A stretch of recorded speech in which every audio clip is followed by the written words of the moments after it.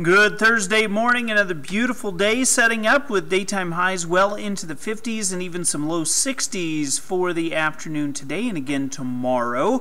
Now, as you go into the afternoon tomorrow, we start to see a few scattered showers out to our north, and that will sink down into southwest Montana as you head into the overnight hours and early part of your Saturday.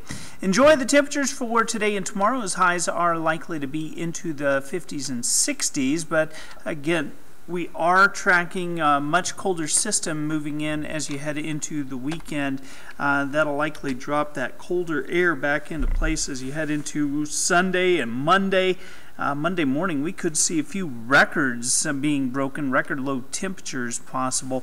You look at the TrueView snowfall forecast uh, through early next week, we've got a couple of bands of snow, and it's not just us, it's also down into parts of Kansas. Oklahoma has the potential of some snow as well as that cold air just takes hold of the vast majority of the United States.